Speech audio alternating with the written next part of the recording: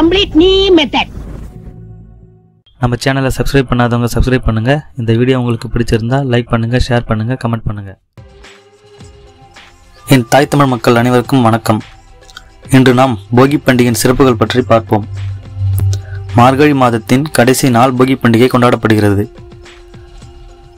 போகி பண்டிகை என்பது தமிழகம் மட்டுமின்றி ஆந்திர பிரதேசம் மற்றும் தெலுங்கானா போன்ற மாநிலங்களிலும் கொண்டாடப்படுகிறது.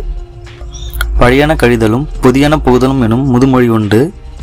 இந்நாளில் கடந்த ஆண்டில் நடந்த நல் நிகழ்வுகளுக்கு நன்றி தெரிவித்தும் வரும் ஆண்டில் நிகழவிருக்கும் நிகழ்வை வரவேற்கும் நாளாக இந்நாள் விளங்குகிறது.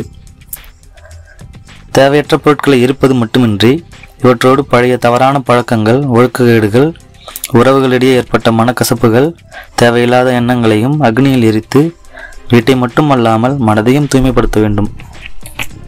பழைய துணி மற்றும் சில பொருட்களை இருப்பதற்கு அறிவியல் சார்ந்த காரணங்களும் உண்டு. நாப்கின் பழக்கத்தில் இல்லாத அன்றைய காலத்தில் மாதவிடாய் தருணங்களில் பெண்கள் துணிகளை துவைத்தும் அலசியும் பயன்படுத்துவர்.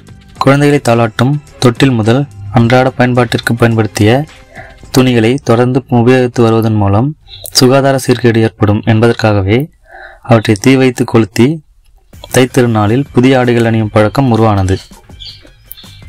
ஆனால் இக்காலகட்டத்தில் போகி என்றால் எதையாவது எரித்தே ஆக வேண்டும் என்று சைக்கிள் கார் டயர்களை பிளாஸ்டிக் பொருட்களையும் எரித்து சுற்றுச்சூழலை பாதிப்படை செய்கிறோம். இது மட்டுமின்றி இந்த புகை புற்றுநோயை உண்டாக்கும். ஹார்ட் அட்டாக் எனப்படும் இதய நோய் ஏற்படும். இந்த மாசடைந்த காற்று carbon monoxide benzene dioxide சரும எரிச்சல் கண் எரிச்சல் நுரையீரல் நோய்களை ஏற்படுத்தும்.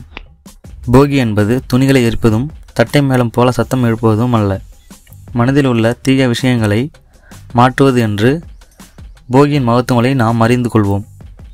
போகியின் தினத்தின் அதிகாலையில் நிலைப்பொங்கல் நிகழ்வு அதாவது வீட்டின் நிலைகளுக்கு மஞ்சள் பூசி திலகமிட்டு கூரையில் வேப்பிலை ஆவாரம் பூ மா இலை ஆகியவற்றை சொருகி கரும்பு தேங்காய் வாழைப்பழம் வெற்றிலைப்பாக்கு வைத்து பூஜை செய்வது வழக்கம்.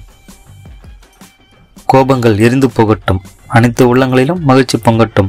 தீமைகள் விலகி நன்மைகள் பெருகிட இந்த போகியை புகை மாசு இல்லாத போகியாக கொண்டாடுவோம். என் அன்பு தமிழ் மக்கள் அனைவருக்கும் இனிய போகி திருநாள் நல்வாழ்த்துக்கள்.